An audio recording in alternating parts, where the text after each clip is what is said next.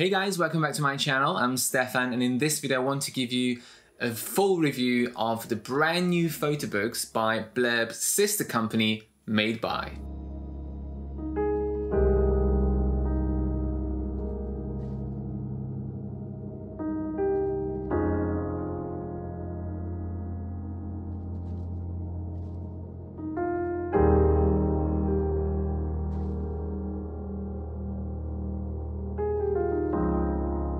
Don't forget to subscribe if you haven't already done so, and if you like what you see, give this video a thumbs up. It's been a while since I've done a review, but as I said, a lot of photo books were on the way to me, and it took ages for them to get through customs and all of that, so I finally have them, and this one is the first of them. And if you don't know who Made By is, and you probably don't know because the company is brand new, there's their logo there. And it's basically a sister company of Blurb, so I assume it's owned by Blurb or somehow related to it. According to the website, it's still in the beta phase, which means that they are testing the waters before a complete launch. But even at the moment, you can buy photo books and have a look at the website. But later on this year, I think more products are going to be available. And at the moment, shipping is only available within the United States but later on they are going to offer worldwide shipping. So even if you're in the UK or Europe, Canada, watch this video because you'll be able to get these photo books very soon. I'm in the UK and I had to use a forwarding company to get this book to me right now, but I really wanted to see it because I loved what I saw on the website. I'm going to do a quick unboxing first and then talk a bit about the actual concept of the book and why it's so interesting. So it came in a box like that and it opens up like that. And the book is placed nicely inside this um, box in the middle so it doesn't move. It's very, very good packaging and there's no plastic in it apart from a, a very thin film that was on the book. But because everything is, is made of cardboard, you can all recycle it. So I'm going to lift it out and here is the book. So as you can see, it's a very unique looking book and I will show a couple more photos of the other styles from the website because I've only got this one. So when you go onto the website and you see these first pictures, it does look like, especially the editorial one, doesn't look like any other photo book that I've seen before. So although the insides are not substantially different to other photo books, but the overall look is, is very nice. And they are trying to market these photo books as kind of higher end than Blurb's photo books and it's not really for mass production photo books it's more like personal photo books but you can do them for weddings family photos travel and so on. But whilst blurb is a self-publishing company where you can do trade books and cookbooks and all kinds of things and and sell them on made by you can't sell these books. So kind of works like all the other photo book companies where you can make it for yourself, but that's where the story ends. The other big thing that differentiates these books from the rest of the photo books is that all the inner pages are recycled. And as you can see, the cover materials are kind of luxury materials in the sense that they are very unique and not kind of cheap, standard, glossy printed photo books. I'm gonna get to the specifics now. So as usual, if you've been following this channel, I first I start talking about the different categories, then the sizes, cover, paper, print quality, and the editor. So let's start with the categories. If you go onto the website, you'll see two main categories of products, wall art and photo books and photo albums. Wall art, they've got some nice um, prints and they've got some framed prints as well. I'm not going to talk about those because this one is about photo books. And when you click on the photo albums section at the top, you're going to see photo albums and at the bottom, you're going to see photo books and there's quite a big difference in price between the two categories. But if you look at the description, the main difference between the two is that the photo books have thinner pages than the photo albums. And also the photo albums come in much larger sizes than the photo books. But besides that, they are pretty much identical. Let's talk first about sizes. The smaller ones are the photo books, and this one is the 8 by 6.4 inches uh, portrait and there's also an 8 by 8 inch square. And these are the photo books. So just two sizes but if you want a bigger size you will need to go for the photo album The photo albums come in 8 by 10 landscape, 8, 10 by 8 portrait, 10 by 10 and 9 by 9.4 by 11.75 landscape and portrait. So five bigger sizes. So you've got small, medium and large. You don't have anything super large like 14 by 11 that they offer with Blurb, but um, these books are kind of more editorial looking. Now let's see the cover options. So the books come with three main cover types. You've got linen, you've got editorial, and you've got image wrap. This one is the editorial, and as you can see, they basically use text as a design for these books. And you've got a, a larger text at the bottom, smaller text at the top. So I've got the date, I've got the title of the place where I went to, and the spine is printed as well and you can have stuff on the back too. Now these designs come obviously pre-made in a template but you have quite a lot of freedom in changing the, the type as you wish making it bigger, larger, changing the orientation, the placement and the font but they are all printed on very nice linen and it's actually printed on so it's not stamped on and that means that it can go anywhere and in whatever format and you've got five colors of linen to choose from.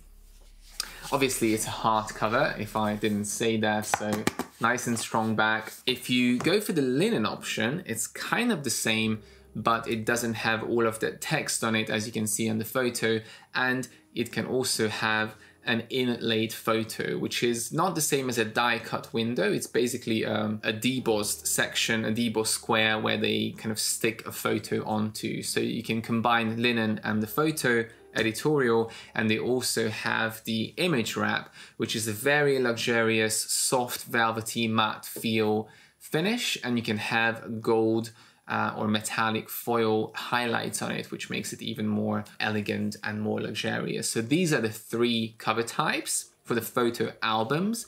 For the photo books, you don't have the linen, but you have the editorial and you have the image wrap. I mean, the first thing why I really wanted to see this photo book is because I absolutely love this cover. I like text on a cover and I like minimalist looks and this is obviously a very minimalist and elegant look at the same time.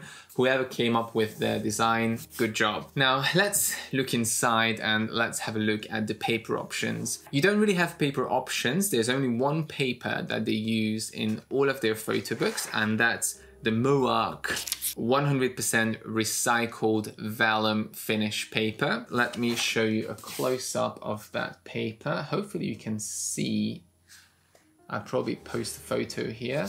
It has a, a very, very fine texture and it looks like fine art paper.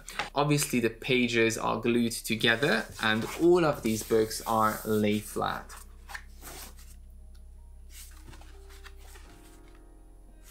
And that's the kind of thickness of the page. And if you go for the photo album it's going to be a lot thicker than that. So a 50 page book would be around one inch thick. And that's the thickness for 20 pages. The pages can be a minimum of 20 and they can go up to 96 pages.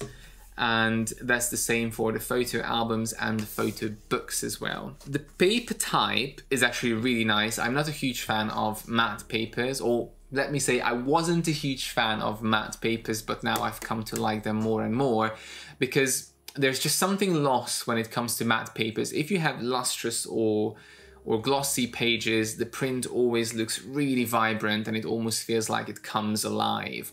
But that kind of brilliance is lost on matte papers because you don't get the same deep blacks and very bright highlights.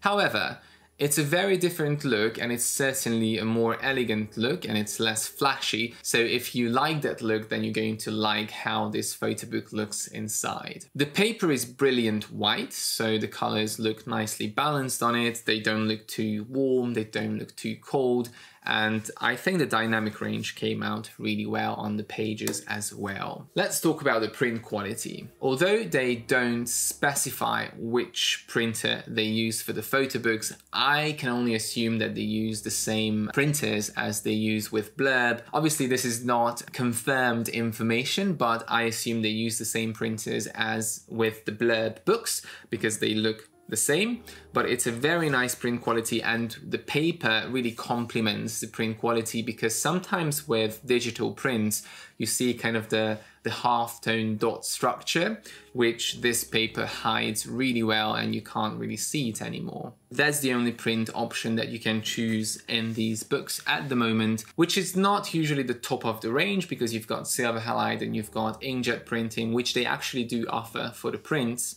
But as I said, the photo paper really complements the print quality or the print technology and you can't see that halftone feature on the print so I'm actually really happy with the print and I prefer the look of the print in this book compared to the blurb book where the halftone features are more visible. At the end of the book there is a logo and I believe there is no way to get rid of that so it doesn't bother anyone but if you want a logo free book for your customers or whatever then I don't think you can do it with this unless you contact customer service. Now with Blurb, you have quite a few options to create the books and you can create PDF ready books as well. However, with Made By, you can't use the Blurb BookWright editor. You have to use the editor, the online editor that they provided, which is quite different to the Blurb editor, but it has a very minimalist look as you can see in my book. It was very easy to use. It's not a very advanced editor in the sense that you can't do very meticulous adjustments and text editing,